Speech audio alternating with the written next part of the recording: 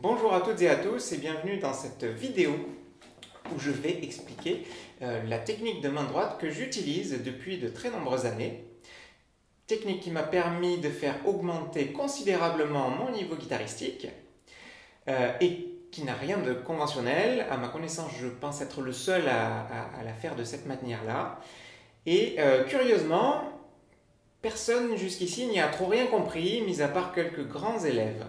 Donc je vais prendre le temps de l'expliquer, de montrer des exemples. Vous retrouverez un fichier PDF où euh, vous aurez tous ces exemples et vous pourrez faire euh, vos tests de votre côté.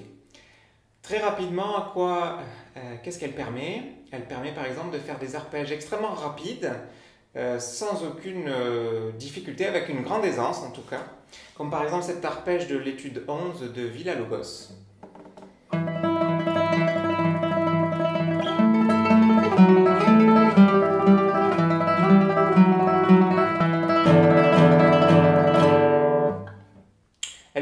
de faire, par exemple, des trilles sur deux cordes tout en continuant à jouer des basses avec le pouce.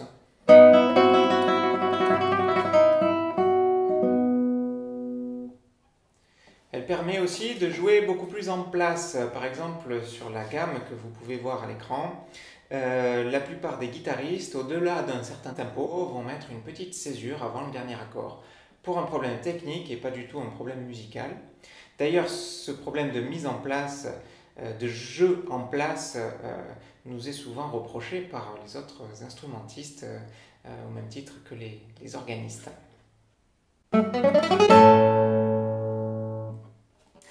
Voilà, avant de passer aux exemples concrets, j'aimerais d'abord parler de certaines choses qui pourront permettre d'évacuer tous les obstacles à l'appréhension et à la compréhension de cette technique.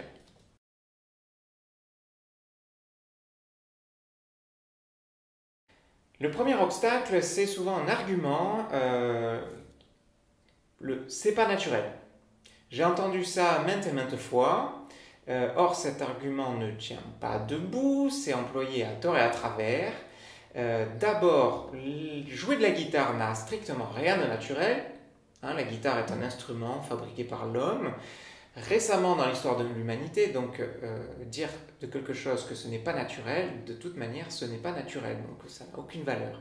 Ensuite, souvent cet argument euh, est employé pour dire d'autres choses, et il y a une confusion entre ces autres choses.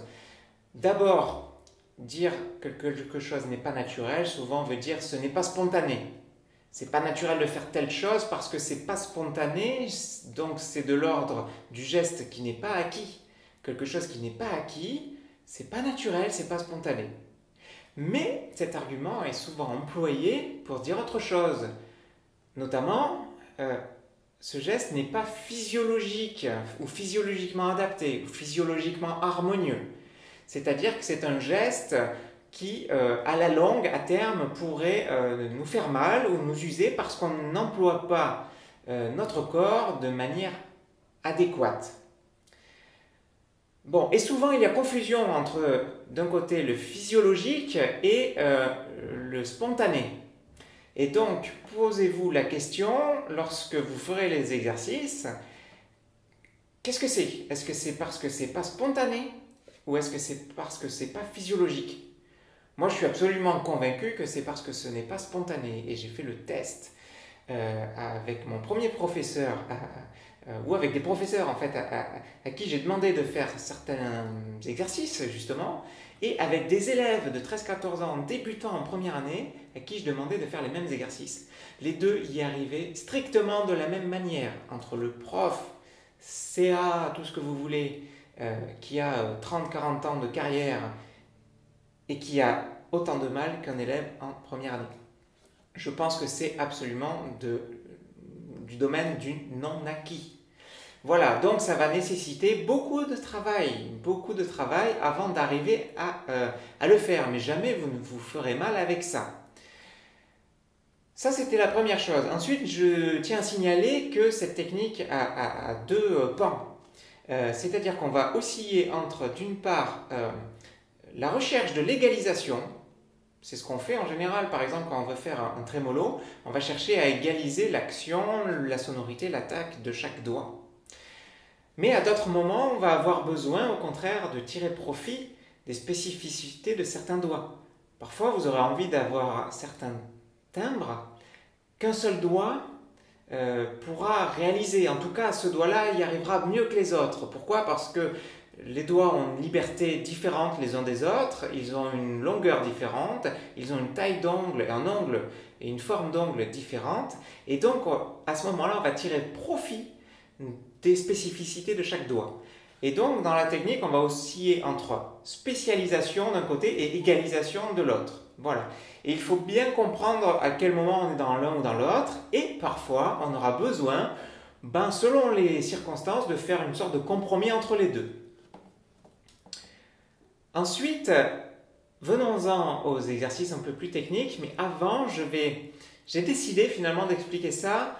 Euh, cette technique par mon propre cheminement. Euh, pourquoi? Parce que c'est tellement différent que je pense qu'il vaut mieux y aller de manière progressive, comme ça a été le cas pour moi. Euh, c'était en 2004, j'étais jeune étudiant au conservatoire de Marseille. Euh, je venais terminer une année avec René Bartoli. René Bartoli, c'est l'école du son.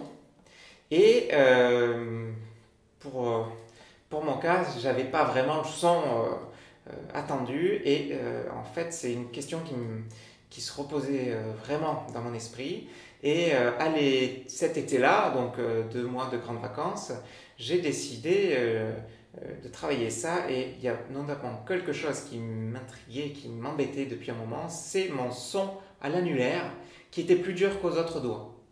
Alors c'est vrai que ça vient de la forme du l'ongle de mon annulaire, j'ai les doigts fins et, et, donc j'ai une forme d'angle qui fait que ben, c'est peut-être pour ça que c'est plus dur. Mais aussi, je me suis dit, ben, tiens, en fait, euh, la longueur des doigts euh, fait que l'annulaire est plus court que le majeur. Et pourtant, quand on joue, euh, par exemple, un accord et qu'on l'arpège, on met l'annulaire au bout. Et en fait, on a un doigt qui est beaucoup plus tendu que les autres. C'est l'annulaire, justement, il est plus petit que le majeur. Et, et, il est toujours plus tendu. Et donc, finalement, il ne va pas avoir la même trajectoire d'attaque sur les cordes. Et je me suis dit, bah, tiens, si euh, j'inversais l'annulaire et le majeur de manière à répartir la longueur des doigts et avoir une courbure de chaque doigt relativement homogène. Et j'ai travaillé deux mois comme ça, deux mois d'été, à raison d'une heure par jour, d'exercices techniques de main droite, et puis euh, d'application dans les morceaux que je travaillais euh, dans les heures suivantes. J'arrive à la rentrée, René Bartoli venait de prendre sa retraite, et donc j'avais Raymond Gracien qui prenait sa succession. Raymond Gracien que je salue au passage. Euh, et donc euh, j'explique ça à, Raymond Gracien, euh, un prof génial, hein, entre parenthèses. Et j'explique cette technique, et évidemment il est dubitatif par rapport à ça. J'étais pas encore super à l'aise ça commençait à aller, mais pas trop. Et j'insiste, j'insiste. Et puis au bout de quelques semaines, il me pose un défi. Il me dit Bon, j'en ai parlé déjà à d'autres collègues, euh, d'autres anciens élèves qui font carrière et tout. Et puis euh, le retour de tout le monde, c'est Bon, euh, non, pas trop naturel, c'est pas trop. Enfin bon, voilà. Hmm. Et donc il me dit Si tu veux, je te lance un défi. on fait un pari, je te lance un défi. Si tu arrives, je te laisse tranquille. Et si tu n'y arrives pas, par contre, tu reviens avec une technique traditionnelle. Et euh, il me demande de jouer l'étude 2 de Villa Lobos à la prochaine audition qui est arrivée. Alors je sais plus combien de temps après, mais j'ai revu la vidéo avec euh, le titre, c'était en octobre, donc je pense que c'était peut-être un mois après. Voilà, quelques semaines en tout cas. Et il fallait que je joue l'étude 2 de Villa Lobos. Donc j'ai dit ok, tout ça. Bon, de toute façon, j'avais pas l'intention de changer, mais j'étais convaincu que ça marchait. Et euh, je commence à travailler. J'arrive à l'audition, je suis mort de trac et à mon sens, je la joue vraiment pas si bien que ça. Et à ma grande surprise, à la fin de l'audition, il me dit Bon, ok, ta technique, ça marche, donc je te laisse faire. Et donc, euh, super victoire. Et, euh, et donc voilà. Donc à ce stade-là, j'avais juste inversé le majeur et l'annulaire. Donc vous pouvez imaginer dans tous vos morceaux que vous inversez juste le majeur à l'annulaire. Et c'est vrai que j'avais un meilleur son avec le, le majeur qui souvent va jouer une ligne mélodique. Et l'annulaire qui étant plus à l'intérieur, finalement, ben, on l'entend moins, il est moins prégnant et le son qui est plus dur était moins gênant. Mais sauf que, quand j'ai travaillé cette étude de, de Villa-Lobos, je me suis aperçu d'une chose, c'est que j'étais en mesure d'utiliser l'ordre traditionnel, et euh, mon nouvel euh, agencement, donc euh, avec l'annulaire et le majeur inversé. Et là, je me suis dit, mais c'est génial ce truc-là, parce que ça me permet de ne pas répéter le doigt et de faire des choses très rapides. Et je me suis dit, ben donc si on systématise ça, ça veut dire que on peut faire les doigts dans n'importe quel ordre. et donc on va répartir les doigts non plus en fonction de l'ordre des cordes, de l'agencement des cordes, mais répartir les doigts en fonction du temps qui défile et des notes qui défilent de manière à, comme euh, aux débutants on leur demande de ne pas faire index-index, mais d'alterner index majeur, et eh bien là on va le systématiser mais à trois doigts. On va faire AMI, AMI ou IMA, IMA sans répéter en doigts avant que les deux autres aient joué. On va passer euh, aux exemples si vous avez compris ça. Euh, donc du coup il va y avoir un compromis de fait entre la spécialisation des doigts et donc l'inversion majeure annulaire et de notre côté, l'égalisation des doigts, où là, on va arriver à jouer dans n'importe quel ordre avec tous les doigts. On passe aux exemples, je change l'angle de la caméra et vous pourrez euh, regarder au ralenti.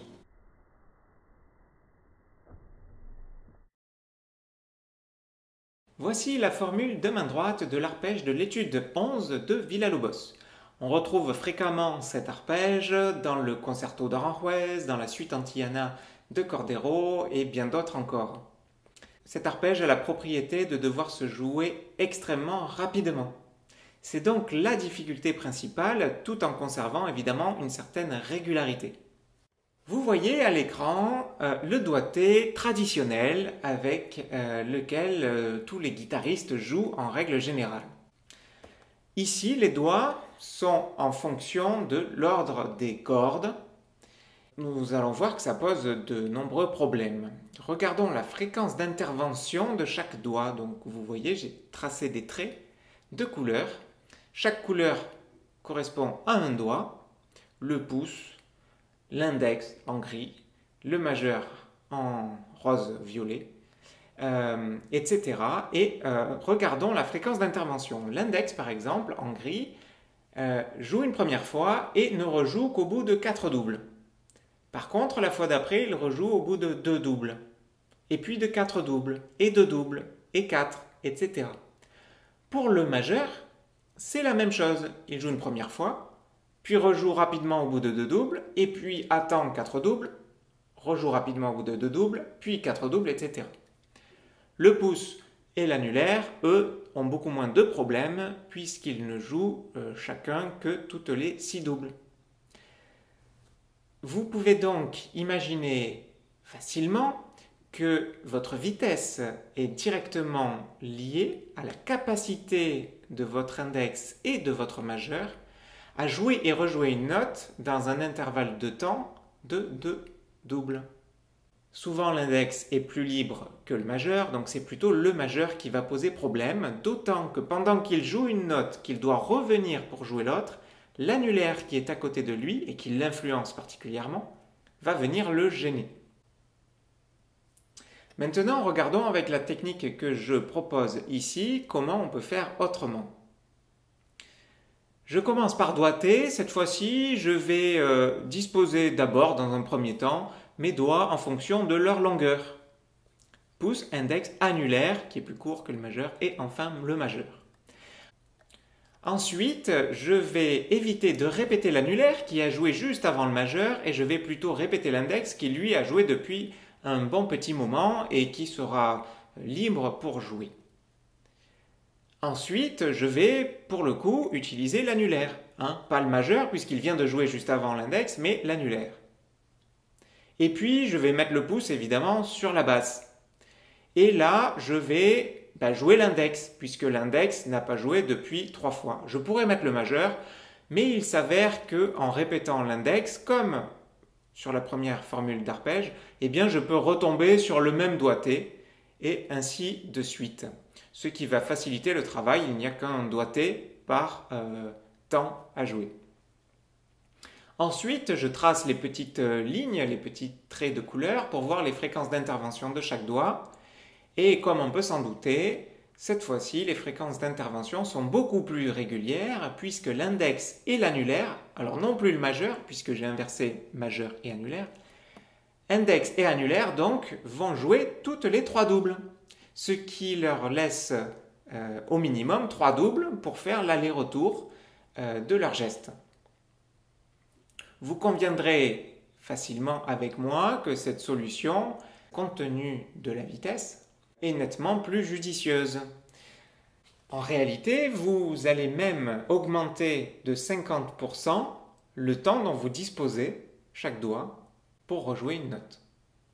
Démonstration cette fois-ci avec l'arpège qu'on trouve dans la cadence du deuxième mouvement du concerto d'Aranjuez.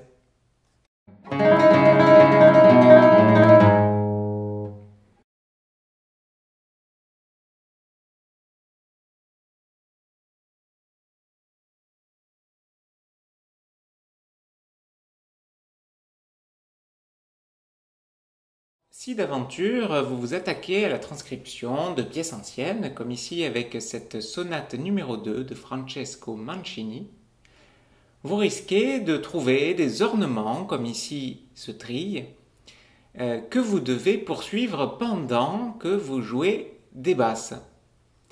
Et si d'aventure vous choisissez de faire ces trilles sur deux cordes, la technique traditionnelle risque euh, de vous ennuyer beaucoup, voire même de vous empêcher de faire l'ornement comme vous le souhaitez. Écoutons déjà comment une flûtiste, puisqu'il s'agit d'une sonate pour flûte à bec et basse continue, écoutons une flûtiste jouer cet ornement.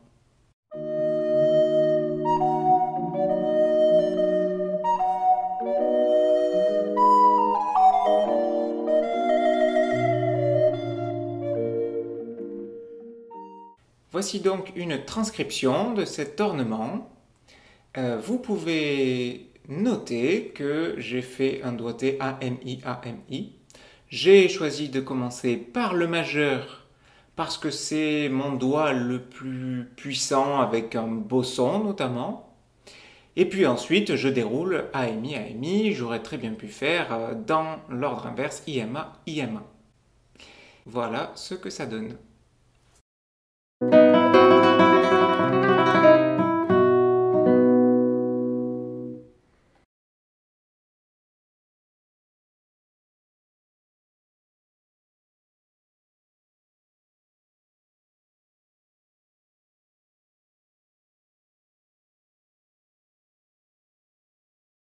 J'ai d'ailleurs oublié de le préciser, mais cette technique marche aussi bien avec une attaque à droite qu'une attaque à gauche.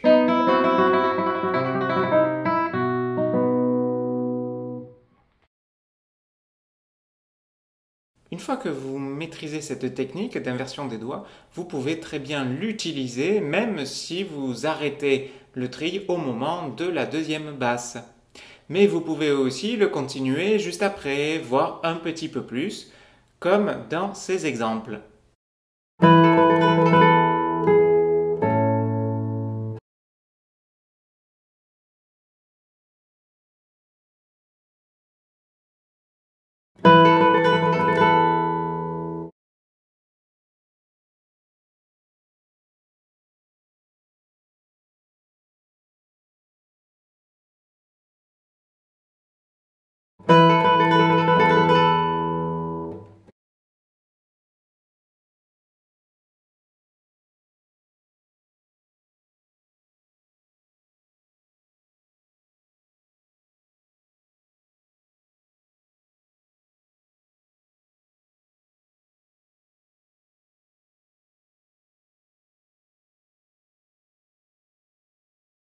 Vous trouverez euh, parfois des morceaux dans lesquels vous avez une sorte de trille avec des basses à jouer en dessous, comme ici dans les variations impossibles de Denis Mortagne sur un thème de Lalo.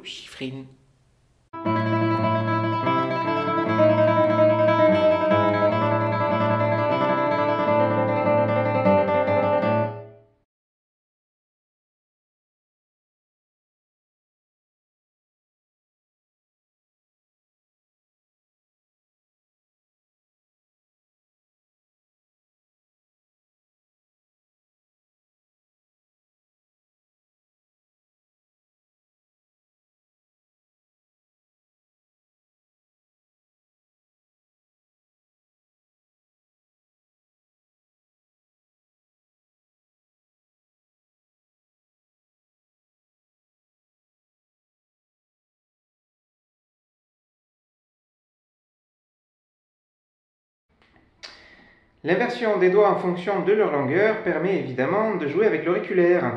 Euh, évidemment, les guitaristes classiques pensent que l'auriculaire est trop petit parce que ben, dans la logique, ils joueraient tout au bout, ce qui est vraiment difficile, mais euh, on peut très bien le jouer dans les basses.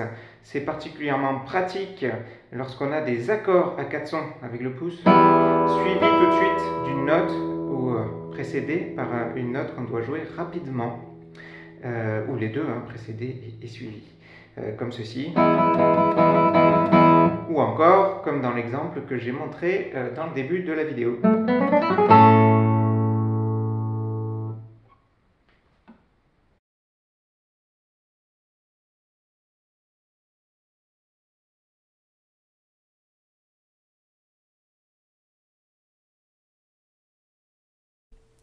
Voici un autre exemple de l'utilisation de la technique que je présente avec la bagatelle numéro 1 de William Walton. Je vous suggère d'écouter euh, plusieurs grands guitaristes, euh, y compris ceux euh, dont la technique est reconnue, et vous pourrez vous apercevoir qu'ils mettent tous une petite césure au moment du changement de mesure entre le Si et le La. Les doigtés que vous voyez à l'écran sont les doigtés de ma technique. Évidemment, nous aurions, comme Julian Brim l'a noté, I-M-A, Et vous pouvez voir que le majeur, dans la technique traditionnelle, se répète après l'annulaire. Euh, donc ce problème récurrent que nous avons déjà vu. Alors certains euh, diront que euh, cette césure est musicale. Je trouve tout de même étonnant que tant de césures se trouvent au moment où il y a des problèmes de technique de main droite. Et si vraiment elle était musicale, je suppose que euh, c'est un choix du guitariste et donc que le guitariste sait très bien le faire en place. Et lorsqu'on demande à ceci de le jouer en place juste encore David, comme vous pouvez le voir à droite de l'écran, avec la technique traditionnelle, euh, bah, ceci euh, n'y arrive pas. Vous pouvez faire le test, en tout cas au tempo de la bagatelle. Donc je pense, enfin c'est euh, mon approche, d'abord euh, j'apprends à faire les choses en place et ensuite je choisis ce qui est musical, ce qu'il faut retenir, ce qui nécessite une respiration, euh, mais pas avant. sans quoi c'est plutôt la technique qui influence, à force de l'entendre de cette manière-là, des choix musicaux et c'est quand même dommage à mon sens. Donc voici comment avec la technique que je propose on peut réaliser tout ça. Juste avant, vous pourrez noter une chose, c'est qu'il y a un doigt euh, qui se répète à la toute fin, c'est l'index qui se répète après deux doubles, de triolet en plus, dans l'accord. J'ai choisi cet index parce que c'est le doigt le plus libre pour faire ça. J'aurais très bien pu utiliser euh, l'auriculaire euh, comme j'ai montré dans la partie précédente. J'ai également mis le majeur sur la note accentué puisque c'est mon doigt qui permet le mieux de réussir cet accent.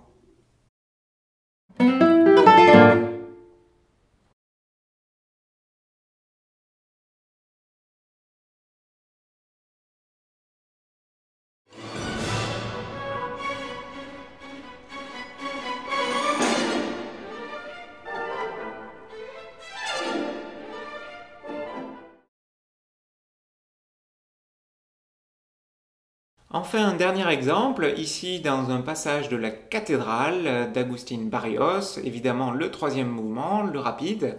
Je vous laisse euh, observer les doigtés, vous avez compris le principe, et puis je fais la démonstration ensuite.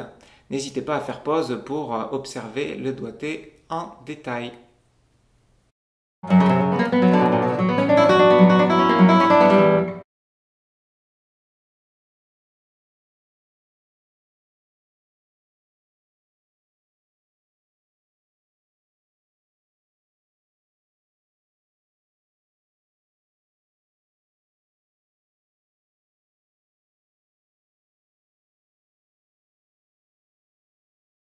Je vous propose trois exercices pour travailler les inversions des doigts, euh, dans lesquels vous trouverez toutes les combinaisons euh, possibles. Le premier, le plus simple, c'est un tri sur deux cordes avec ANI. Vous le travaillerez également IMA.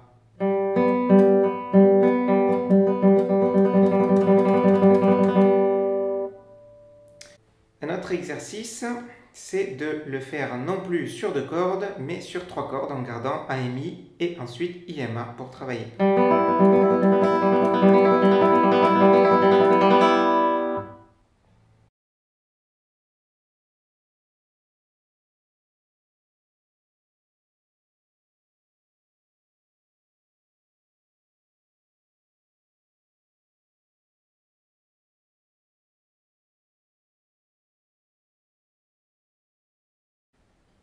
Un troisième et dernier exercice, euh, c'est de travailler les accords arpégés, mais à chaque fois avec un ordre des doigts différent, et on peut faire tous les ordres.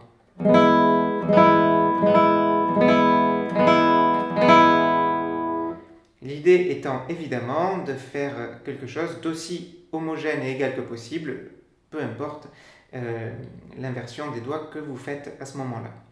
Alors là, cette fois-ci, on a fait toutes les versions, IMA et MI, ce qu'on peut faire par contre, c'est euh, le travailler également dans l'autre sens, etc. Voilà, j'espère que cette vidéo vous a plu, qu'elle vous apportera quelque chose. Euh, n'hésitez pas à me poser des questions, soit en commentaire sur euh, YouTube ou sur Facebook, ou voilà, vous, me trouvez. J'espère que je verrai les mails, je ne les lis pas toujours. Mais voilà, je, m'efforcerai de répondre et je ferai une autre vidéo euh, où je répondrai à toutes les questions qui se seront posées. Merci beaucoup pour votre attention et à bientôt.